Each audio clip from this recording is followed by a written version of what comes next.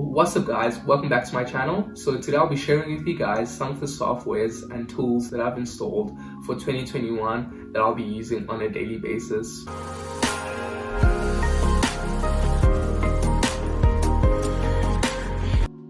So without wasting any time, let's get started. Um, first things first, the computer that I use is the 13-inch MacBook Pro, uh, the 2019 version. I bought this last year for school. Um, so it basically does almost everything that I needed to do. It runs a 1.4 gigahertz processor, an i5 processor. It's a quad-core processor, so that's pretty good. And then it, it has um, 8 gigabytes of memory. So without wasting any time, let's just get started with the softwares. So I've split the softwares into two sections. Um, first, general and productivity. So these are the softwares that anybody can use. And then secondly, the tools and softwares that I use as a junior software developer. So the first tool that I use under the general and productivity section is my browser. The browser that I use is the Brave browser. So this is a privacy focused browser for its users and takes a different approach on advertising. More, more about that in a few. Um, so the Brave browser was co-founded by Brendan Eich. Some of you guys might know Brendan Eich as one of the co-founders or founders of JavaScript, the JavaScript programming language specifically. So it is the perfect alternative to the Chrome browser as they are both built on Chromium. So it also includes uh, additional tools such as built-in ad blockers and tracker blockers as some websites actually track you while you're online. So it's great that it has that built in. And also it has built-in advertisements and I'll still talk about that in a second. Um, so one of the number one things that most devs um, use on Chrome is basically the dev tools. So um, luckily the Brave browser has um, the dev tools since it's, it's built on Chromium. So if it wasn't for that, otherwise I'd still be using Chrome. But since it has the dev tools, then why not switch? So one of the things that differentiates Brave from all the other browsers is it has its own cryptocurrency called BAT, short for Basic Attention Token. For, so for you to get these crypto coins on the browser, it's optional.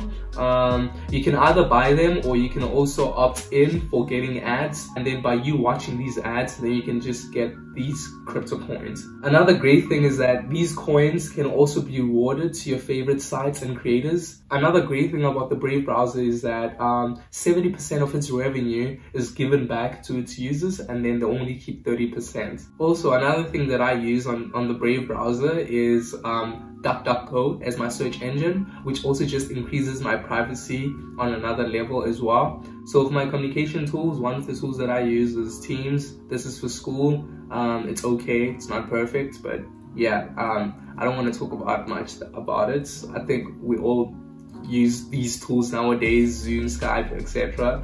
No, I don't think we still use Skype though. But yeah, I don't think Skype still exists, but okay. um, but but my preferred tool that I use for communication and collaboration is mainly Discord. So with that one, I get to communicate with my friends, colleagues, etc. And one of the reasons why I use Discord is mainly for the number of communities I have signed up to that have people who share common interests. To name a few groups, I've joined a Python development group, a web development group, and another interesting one is a comics group. So it's just a lot of groups that you can join in, Discord. So if you really just want to meet new people, Discord is your go-to. So the next application that I'm about to talk about is basically one of the best applications that I've ever downloaded in a very long time. And its, its approach on productivity is the best I've seen so far. So um, that application is basically Notion. So when it comes to time, task, and project management, I have always used many different tools for these purposes. So sometimes I've even gone as far as using the stock notes app that comes with your phone and you know it's bad when you start using the notes app.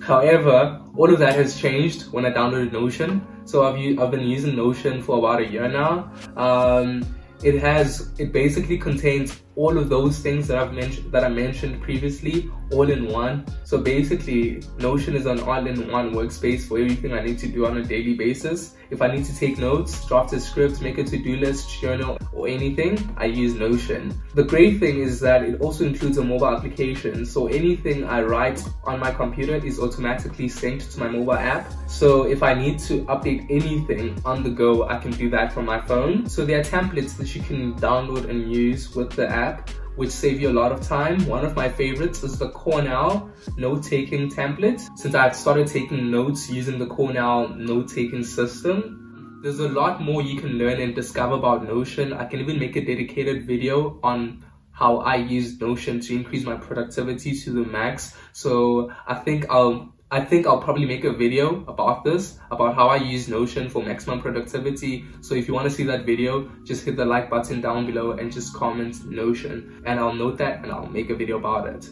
definitely. So when it comes to creating mobile apps, websites, or anything similar, um, design is very important, which is why I had to have a software that helps me design or mock up anything on the go super quick so which is why I had to go with Adobe XD. So I use Adobe XD mainly for creating my mockups and prototyping. It's basically one of the easiest ways to kind of see your idea come to life before you even start development. One other common tool that most people use is Sketch. Uh, I haven't really tried using Sketch that much, although all I do know is um, Adobe when I use Adobe XD compared to Sketch, um, Adobe XD proved to be way much better and it's basically, it basically works.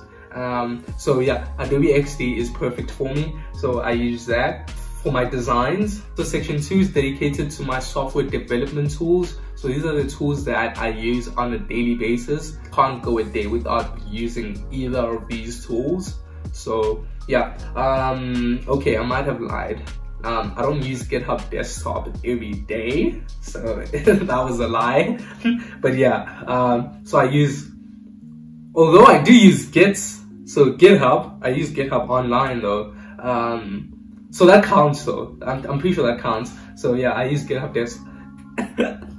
I use I use GitHub a lot, not GitHub Desktop. I can't remember the last time I opened it. I think I opened it like two days ago. That was the last time I opened it.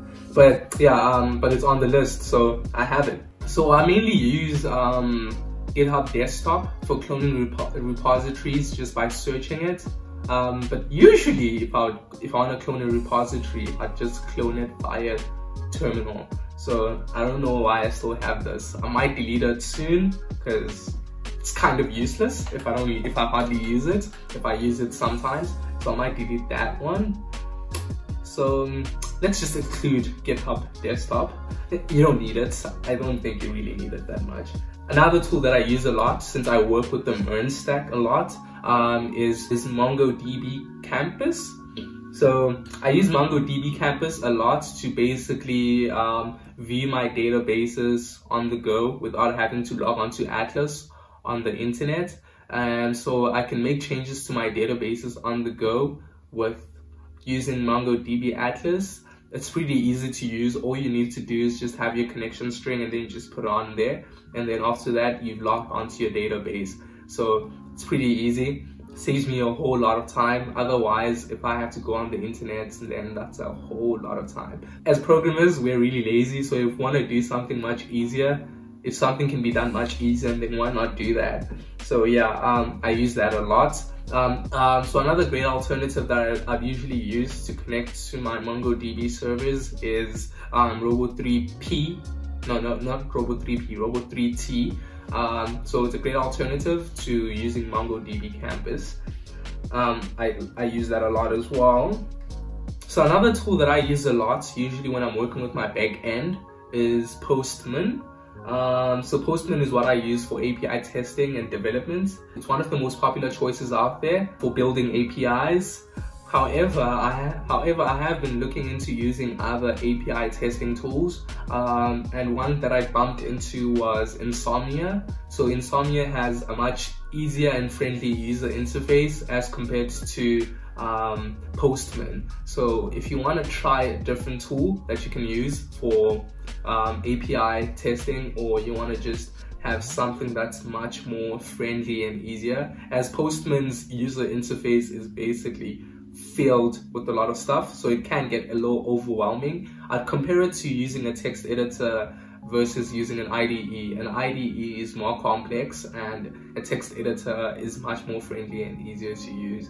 Um, so yeah, um, Insomnia and Postman definitely a great example of IDE versus text editor. So I might though um, switch to Insomnia pretty soon if it convinces me. But so far I'm using Postman and it's been working great. So text editors, my preferred text editor of choice is Visual Studio Code. Um, I know it's very common out there, um, but I have a few reasons, however, as to why I use Visual Studio Code. Um, so one of the reasons why I use Visual Studio Code is the integrated Git and debugging tools and also the community that it has. It also has, thus it has a lot of extensions that you can use for, you can use for almost anything. I mean, it even has an extension for, for Tinder, for, okay, for code Tinder. So you date people based, so you get to meet new people based on whatever code they use. So uh, actually one of the creators of this application is Ben Howard. I think I'm pronouncing that right. But yeah, Ben Howard, if you want to go check out um, Tinder, I, am not sure what he calls it, but it, I know it's Tinder for code. Um, so you should definitely check it out. Install it on your Visual Studio, and it's great. It's amazing. Um, I think he has over 40,000 users by now. So there's a lot of there are a lot of people that use it. There are a lot of people that use it. So Visual Studio Code great text editor. Although sometimes I do tend to use Sublime Text, although I deleted recent I deleted it recently because I didn't use it for a very long time. But sometimes I'll download it if I need it. Um, but I don't know when I'll need it. So yeah, Visual Studio Code is um, Sublime as well. So Visual, so Sublime as well. I do use that as well sometimes.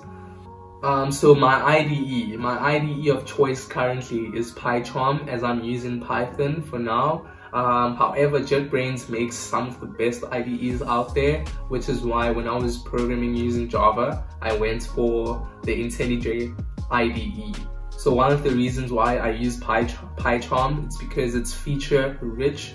So it has um, some of the best features such as code completion, both for built-in and external packages. In addition, for in addition, it also has code completions for SQL and databases, so which is perfect for when I'm working with databases. Although I would advise that when you are a beginner, right, in in coding, um, the number one thing that most people would advise you do is get used to using a text editor, as a text editor doesn't have those auto completions so it allows you to think a little bit more about what you actually want. And then when you get more into intermediate and you know what you actually want, then you just get to use these great features of auto completion. But sometimes, man, if you just want to use auto completion on the go, just go ahead. Just go ahead and use it. You can even, say you're using VS Code as well, you can even just install um, an extension for auto completion for your preferred language. So